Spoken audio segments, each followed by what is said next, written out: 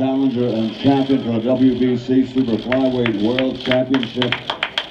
A contest everyone has been waiting for. Two of the very best in the world, and of course here in the middle? recognized as perhaps pound for pound the very best in the world, the world champion.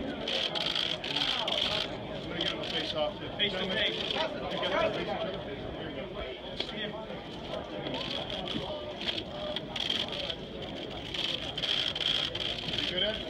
Thank